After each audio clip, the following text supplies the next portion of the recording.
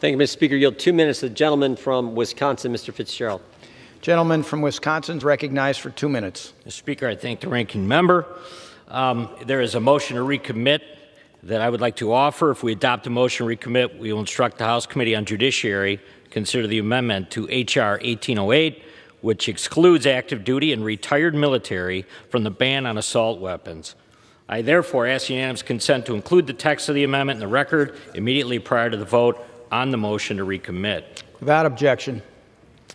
Mr. Speaker, just imagine you're a 17 year old who makes a decision to enlist in the Army, the Marine Corps, the Navy, and then that 17 year old goes through eight weeks of basic combat training, BCT, at one of the one of the basic training centers in Fort Jackson or Fort Knox or Fort Benning. And then they're given a service weapon, an M16 typically, and taught to assemble, disassemble that weapon down to the bolt. They'll go through the training with the drill sergeant. They'll be on a range, on a live fire range with this service weapon. And then the 17 year old go to AIT to be taught their specialty and continue to be on active duty or in the reserves or in the National Guard and then potentially deployed. What this bill seeks to do is prevent this member of the military who comes home either to the reserve unit or National Guard unit or on active duty from purchasing a rifle that they can use on their own. My colleagues who support the bill are saying, We trusted you to join the service.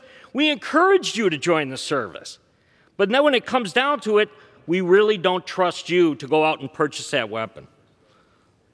It makes no sense.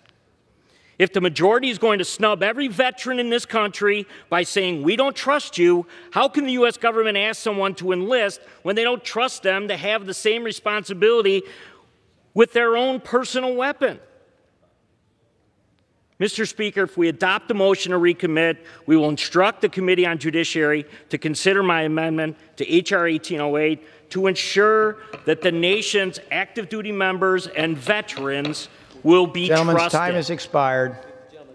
30 seconds. Gentleman is uh, recognized for another 30 seconds.